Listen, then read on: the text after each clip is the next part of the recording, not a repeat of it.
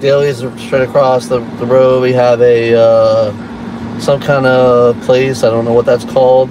That is a Winn Dixie right across the street as well. And then you got a so you got a place called China Cock. China Cock's the right side of uh, Winn Dixie. Actually, no, the right side of the Winn Dixie is a liquor store. And then you got China Cock, and then you got some kind of bar everybody goes to.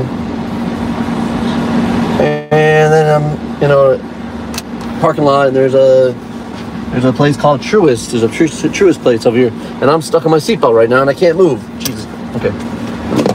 All right. And we have a place called Brush Salon, and next to it we have a massage parlor, which I think they give happy ending massages at. And we got a tropical smoothie cafe next to that. But then we got a James Pizza. Anybody want pizza? Come to James Pizza. And then we got another fire. We got a place called Firehouse Subs, where you get your subs, warm and fresh. And then we got a place called Las Portales Mexican Grill, and I probably killed butcher that name, but uh, whatever. And that place I get a lot of orders from some days.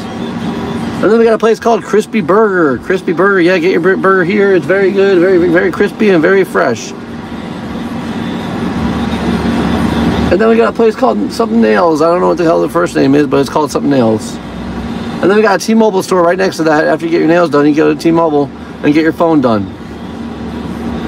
And then we got a uh, veterinarian clinic. If you need your, if you need to have your pet, pet spayed or neutered, come there. Don't be square.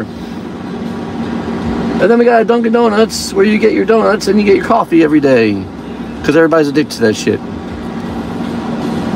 And that about wraps up the tour in this area right now. I'll let you know if anything comes up.